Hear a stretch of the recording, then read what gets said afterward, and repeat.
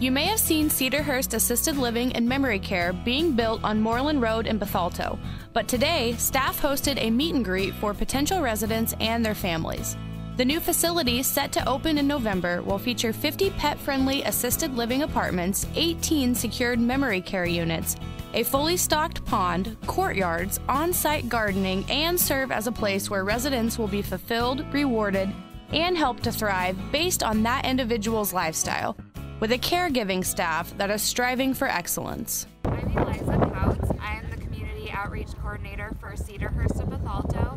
We're at 309 North Moreland Road in Bethalto. A hold of us for um, more information. Our phone number is 618-391-0335 and our anticipated opening is in mid-November, hopefully moving residents in the beginning of December.